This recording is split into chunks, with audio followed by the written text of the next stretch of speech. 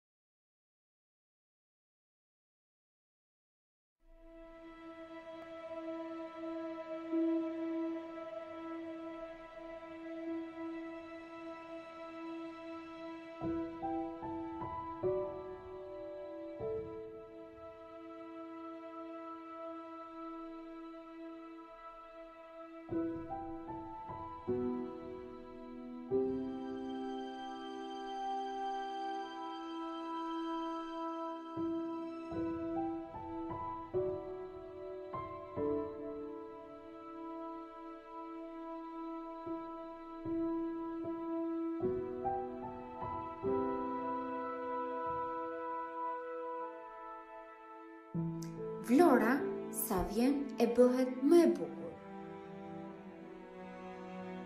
Ndryshimet në bulevard dhe lungomare e tregojnë dita ditës këtë gjë.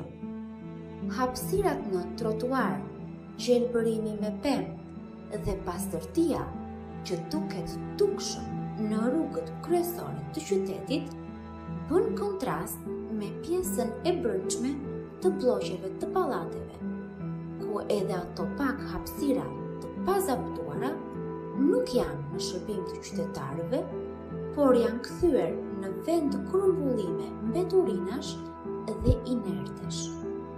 Këto hapësira që gjenden në pjesën e brendshme të pallateve mund të shfrytëzohen në dobi të qytetarëve.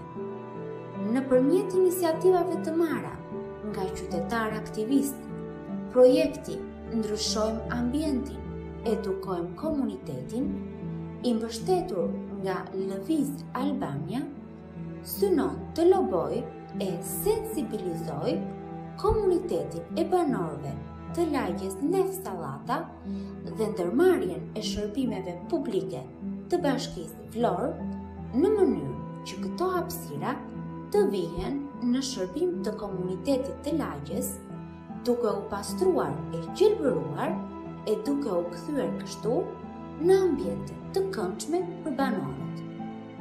Këtë shqetësim e kanë pasqyruar edhe banorët e bllokut të lagjes Lef Sallata në intervistat që ata kanë dhënë.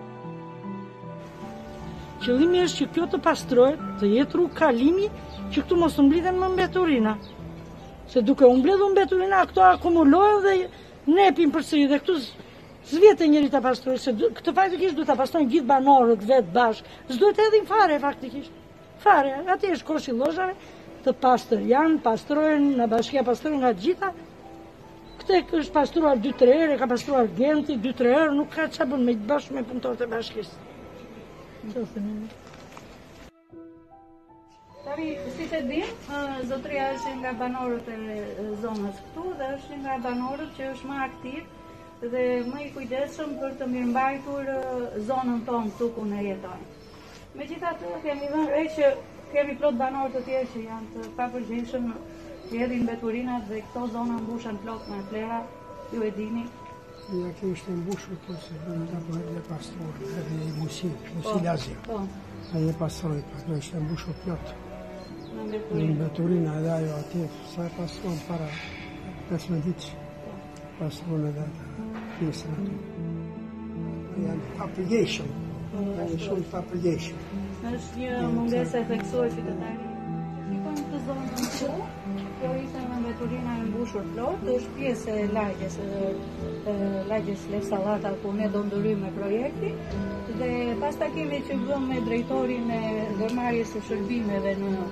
Bashkim Vlorë, zoti Genti Sherifi, erdhën punëtorët dhe pastruan.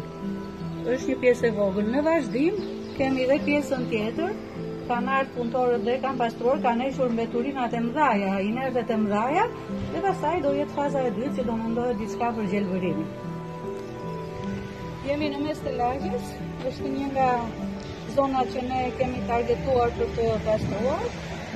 Ka qenë shumë pis dhe bashkia hoqi pjesën më të madhe mbeturinat e mdhaja inerte.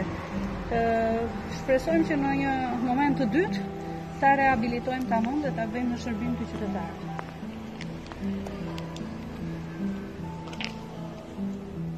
Në takimet e kryera me përfaqësues të ndërmarrjes së shërbimeve publike dhe nga analiza e buxhetit të Bashkisë Vlorë për pjesën e pastrim gjelbërimit, është planifikuar një buxhet të cilin ne shpresojmë që bashkia ta përdori edhe për këto dy hapësira që ne kemi evidentuar në lagjen Lef Sallata. Shpresojmë që kjo nismë të përhapet edhe në blloqe të tjera banimi në qytetin e Vlorës dhe t'u shërbejë qytetarëve për sensibilizim e përmirësimin e jetës së tyre të përditshme.